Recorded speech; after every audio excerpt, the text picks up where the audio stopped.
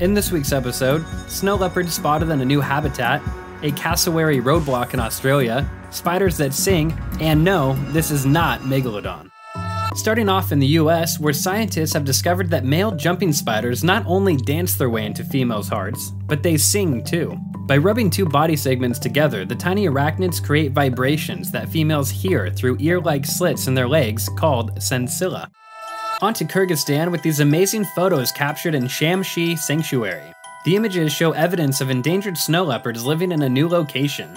After finding tracks in the area, the Snow Leopard Trust set up cameras to confirm that the big cats were indeed living in the sanctuary.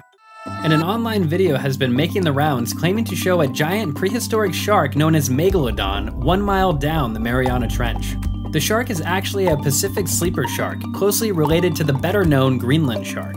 The footage was captured by a submersible in Japan's Suruga Bay back in 2008.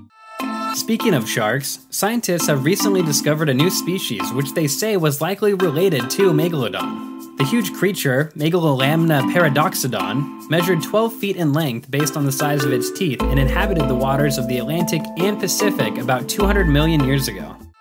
The U.S. Fish and Wildlife Service has just added seven species of bees to the endangered list, a first for bees in the country. All seven species are native to Hawaii and are critical in the pollination of specific plants found only on the Hawaiian Islands. And tourists in Australia got a little too close for comfort to these big birds.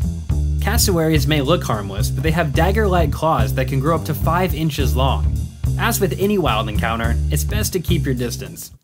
Staying in Australia, where a woman risked life and limb to protect her dog from hungry crocodiles. Officials say the incident, filmed in Australia's Kakadu National Park, is just another example of stupidity, and that it's only a matter of time before someone is fatally injured.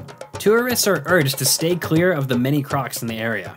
Rounding off with this cameo caught on a bald eagle nest cam. Some viewers believe they're seeing footage of Bigfoot in the background. What do you see? Bigfoot or Big Phony? That's it for this week.